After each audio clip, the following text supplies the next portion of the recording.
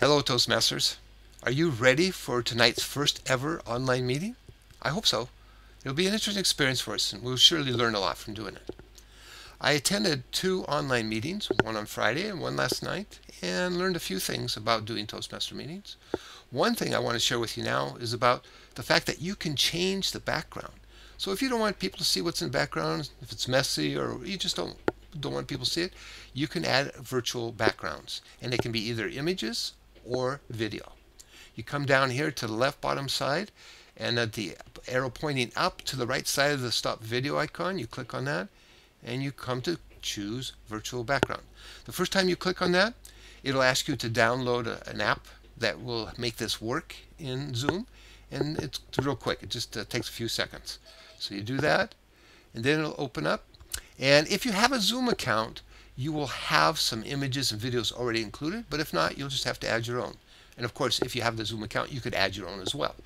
So you can see here, I added a video from uh, Africa, the tribes that like to have contests about jumping high in the air. And I did a few of Brasov. And I also included some for being timer. Now, I will make sure everybody gets it. I'll send a zip file with these to everyone.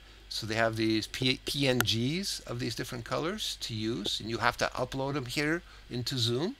But let's say I'm the timer.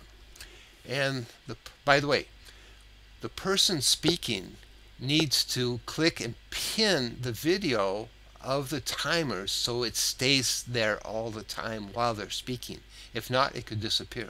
So make sure you pin the timer so you can see him. Now, if I was the timer and you started speaking, I would do this. As soon as you started, I would go with a black background. And then I would hit the green when your minimum time reached, yellow, and the red.